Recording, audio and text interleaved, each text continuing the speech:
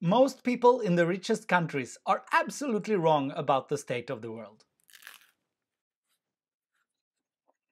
How can I know? Gapminder has tested their knowledge, and here are the terrible results from the Misconception Study 2017. We asked people in 14 countries 12 basic fact questions about the world, and here is how many correct answers they scored. 15% scored zero correct answers. Most people got one or two right. Here are all the results. Only one person managed to get 11 correct, and nobody got 12. The average score was 2.2, which is a terrible result, showing that most people in these countries are absolutely wrong about the world. We didn't ask trick questions. For example, let's look at question number seven. How did the number of deaths per year from natural disasters change over the last hundred years? We give you three alternatives, A, B, or C. Do you think deaths per year from natural disasters A decreased to less than half, B remained more or less the same, or C more than doubled? 12,000 people answered this question across 14 countries. You can see how most people choose alternative B or C. Now let's look at the data. Thanks to the International Disaster Database, we know that 100 years ago, between 1910 and 19, on average, 330,000 people died every year from natural disasters. Now, how did that change? Here are the alternatives A, B, and C. Decade by decade, it increased until the 1930s. But since then, Humanity's preparedness for disasters has improved like crazy, and since the 1960s, the number has been below alternative A.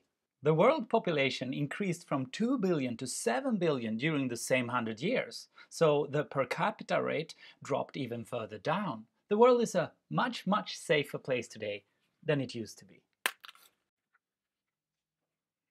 But instead, people think it's equally dangerous or even worse. Of course, every death from disaster is covered today by the news in ever more detail. And even if nobody is lying, it's very easy to get the impression that the world is getting worse. Let's look at the results again. Alternative A is the correct one. We mark it in green. 42% picked the wrong alternative B, and 48% picked the very wrong alternative C, and only 10% picked the right answer. This is what we call terrible results. Maybe you think that is too harsh, that we shouldn't expect people to know these global statistics. Come on, people are just randomly guessing A, B, or C. Well, what does randomly guessing really mean? We went to the zoo and gave the same question to chimpanzees by marking bananas A, B, and C, and to our big surprise, the chimpanzees picked the right answer every third time. So compared to the monkeys, 33% of them got it right, and that's what humans would score if they were randomly guessing. But they were not.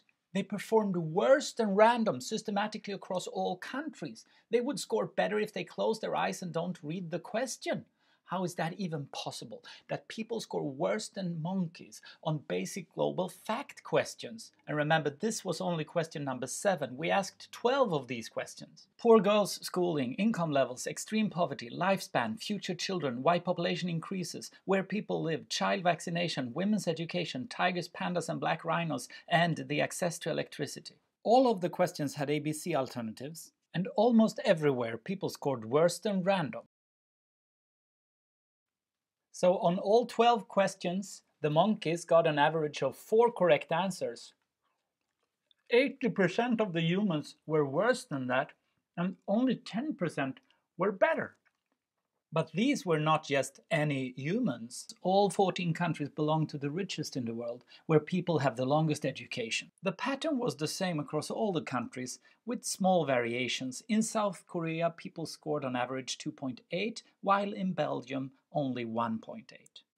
Now, let's not get depressed by these terrible results. Instead, let's be curious. Like with visual illusions, if 90% of people see something wrongly, we don't tell them to get glasses. Instead, we write these kind of curious books for kids to learn more about these strange phenomena.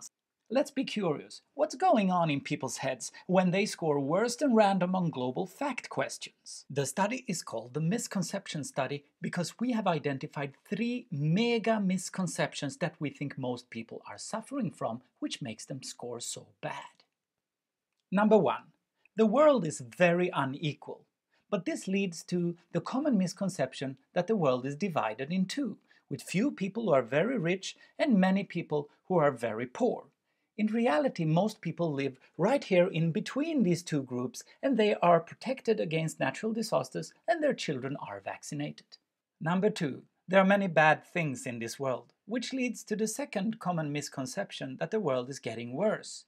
With better and better news coverage, we hear about more terrifying things every day, and it's hard to keep track of all the slow, great progress. But life expectancy keeps increasing and fewer children are dying. Extreme poverty rate has fallen faster than ever before.